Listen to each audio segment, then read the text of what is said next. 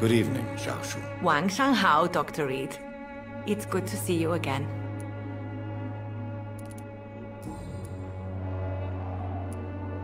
What are you doing with your time, now that you're back in Whitechapel? I've decided to help the poor and sick of the neighborhood by handing out medicine. That's very charitable of you. But why do it at night? I've noticed that the most desperate people tend to go out after dark. Hence my presence, to help them when I can. Giving out medicine? How can you afford to do that? I am a rich widow, Dr. Reed. My departed husband left me enough money to last the rest of my life. I can spend some on those who don't have any. Why don't you move to a better neighborhood? I thought about it, I confess. To go back to the same empty home every day still hurts me a lot. Why stay here then? I am a woman of habit, Dr. Reed. And for now, I am happier being useful in a familiar place than I would be anywhere else.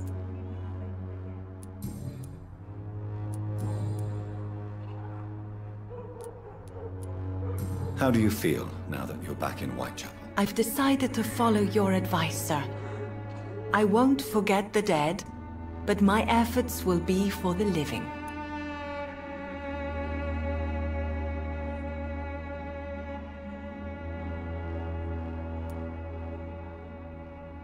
I've no doubt. That is a wise and useful attitude in this part of town. To be completely honest with you, I am also doing this for myself. If I'm destined to survive this epidemic, I need my life to have some purpose. Do you still think about your departed husband? Of course I do. I'll never forget my beloved Matthew, but... How do I put it? Now I miss him more than I want him back. I know what you mean. And I think it means you're getting better. Maybe death will take me the way it took Matthew. Without warning and without mercy. But until then, I live on. Goodbye for now.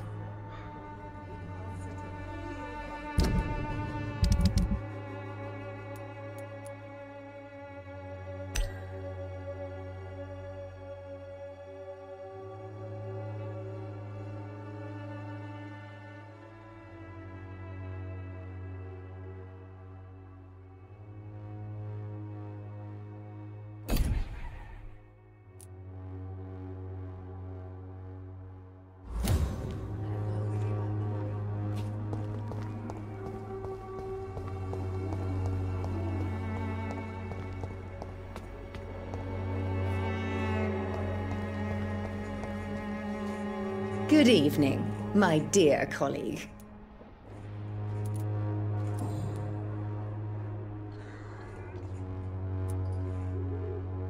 Loretta, your miraculous formula wouldn't even cure a common cold, and you know it. The Swanborough's cordial secret ingredient is hope, Doctor.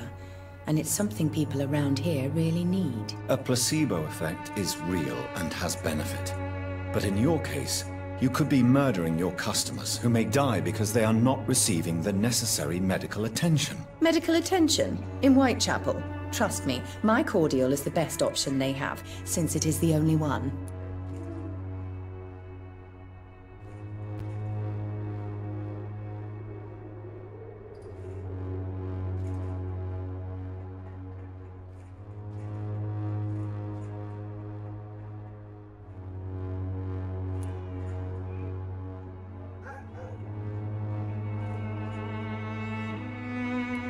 You're just a greedy hypocrite. Hypocrite!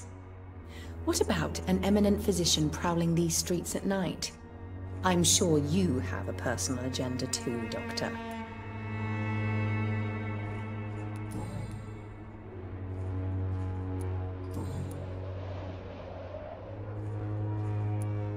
Loretta, why do you feel so guilty about your brother? I don't expect him to forgive me. All I can do is make amends for what I did. By making him a crook and a criminal. What if somebody decides to make him pay for your scam? Mason is totally capable of defending himself. Just leave us be. We're perfectly fine.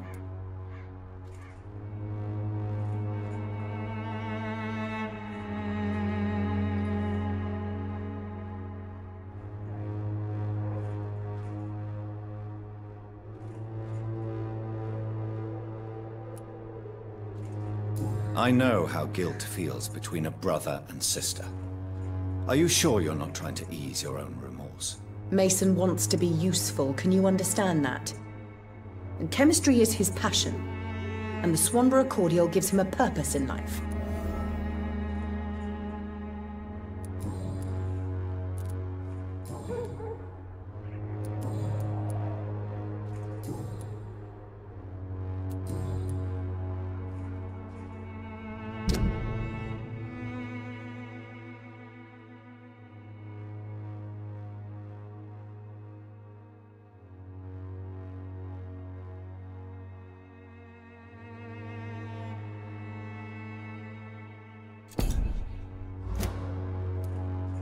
I'd like to see what kind of medicine you're selling.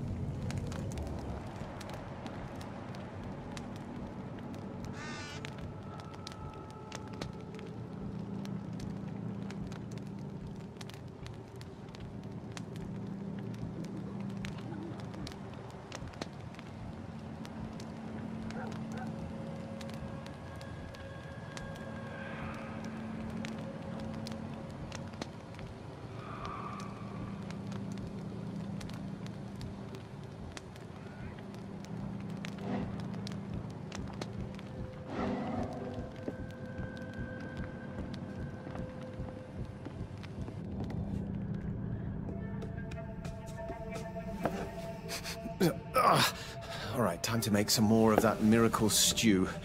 Where is the burner?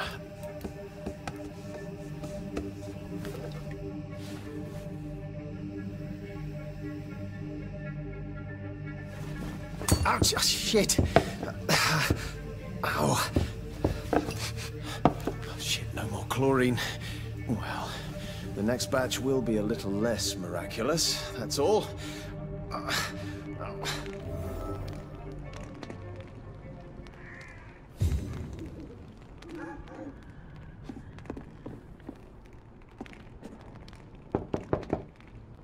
Good evening, Mr. Swanborough. Is it you, Dr. Reed? Please come in. Tell me, how do you see the world these days? What can I do for you, Doctor?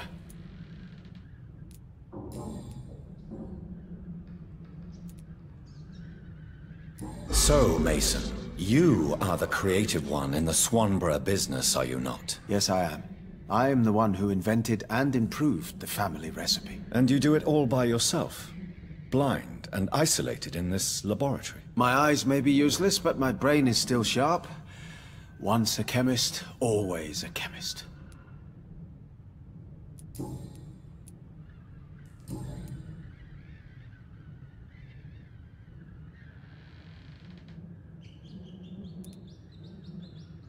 Your sister seems to believe this miracle elixir business is somehow doing you good. Loretta believes that keeping busy is what I need to be happy. And is she wrong? My sister is wrong about almost everything. But as long as she thinks she's in charge, she can be nice.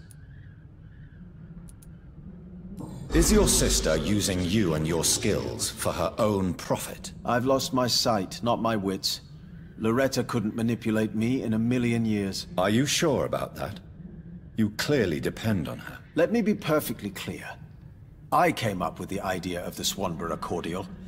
Loretta needs me more than I need her.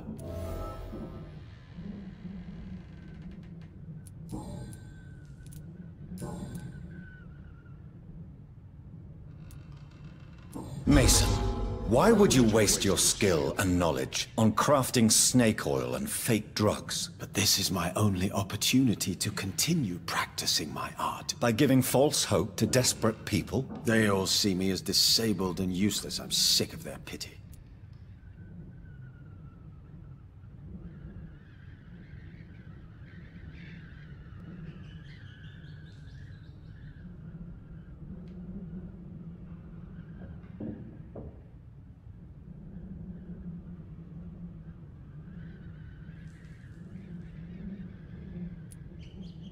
You are nothing but a vengeful, bitter man who takes delight in selling false hope to terrified people. Believe what you want, Dr. Reed. I don't care. I play with the cards fate dealt me, that's all.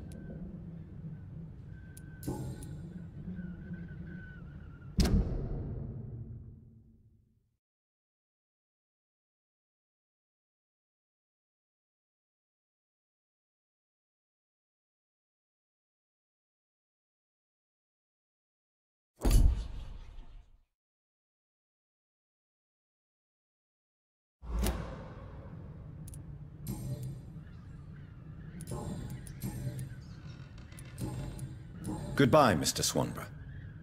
I'll leave you now. Wandering in this part of town at night, you're either brave or a fool.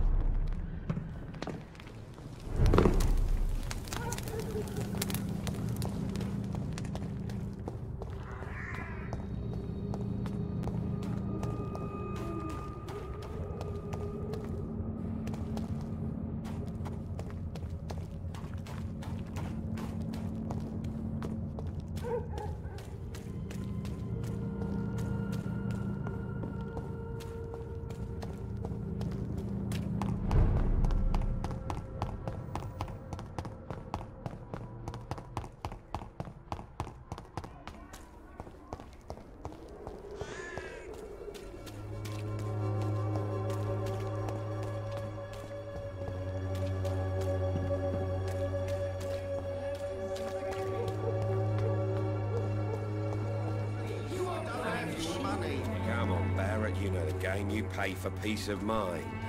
Can't you just look the other way this week, Joe? This district seems to get uglier every year.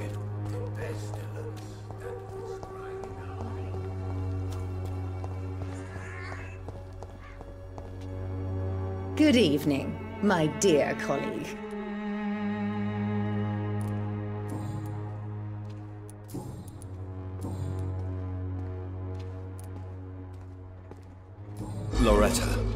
Is your brother your accomplice, or are you just using him? I would never take advantage of Mason's handicap.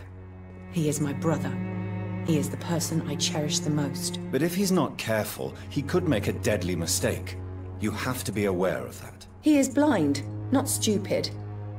He's always been the brains of the family, and the Swanborough cordial was his idea in the first place.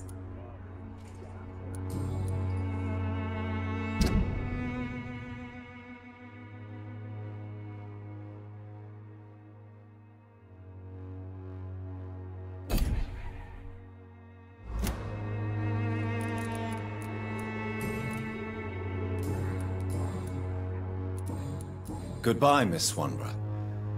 Perhaps we'll talk again.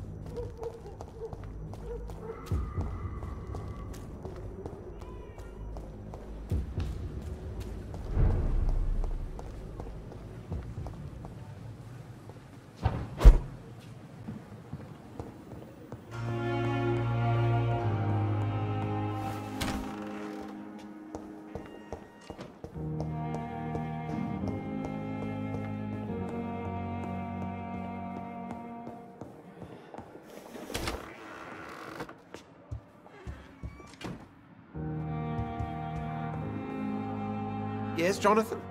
To what do I owe the pleasure? Don't worry, Edgar. The reputation of Pembroke Hospital is secure. Sean Hampton was not the guilty party. Is that true? Oh, good news. Good news indeed. A pleasure as always, Edgar.